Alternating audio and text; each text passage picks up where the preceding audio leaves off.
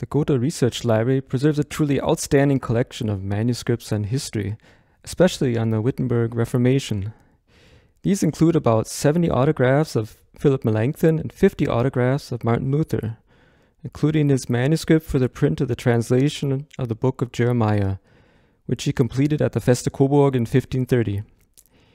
In addition, there are also a collection of correspondence from the Swiss Reformation, from Calvin and Beza, and many other documents. So you can see that it's a collection that covers not only Lutheranism, but also parts of the Reformed tradition. The collection is practically a gold mine, first in terms of its quantity, but also in terms of quality. Thus, you can approach this collection from a wide variety of questions from different disciplines, not just from church history or theology, and develop research questions. My favorite object here is a manuscript that Ernst Salomon Cyprian compiled and donated to the Gotha Gymnasium shortly before his death in 1745.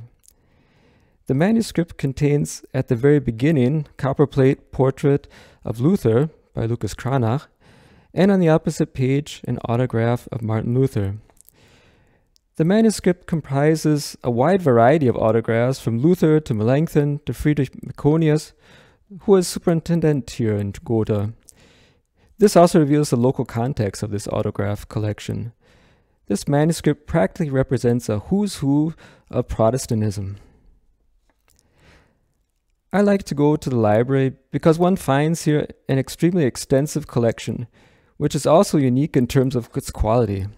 As a researcher, this library is inexhaustible, meaning there's always something new to discover one quickly realizes that this library is a cornucopia for so many areas.